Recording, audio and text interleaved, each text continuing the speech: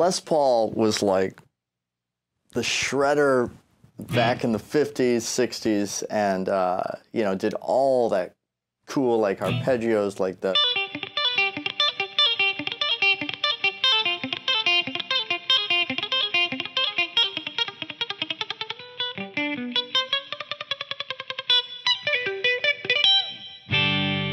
And, uh, you know, I just love all that stuff. You can use all that cool stuff in rock today, and um, just all the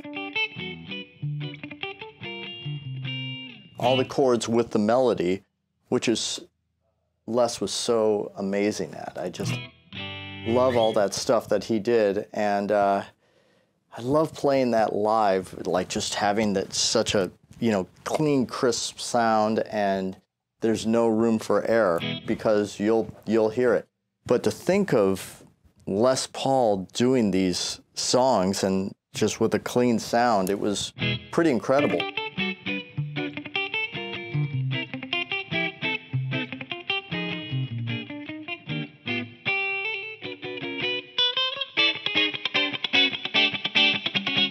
And like, you know, he did a lot of open string stuff.